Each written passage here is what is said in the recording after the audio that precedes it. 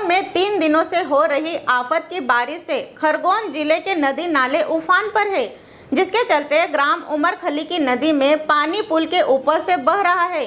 पुलिया पर अपनी जान जोखिम में डालकर पार करते समय बाइक सवार डूबते डूबते बचा।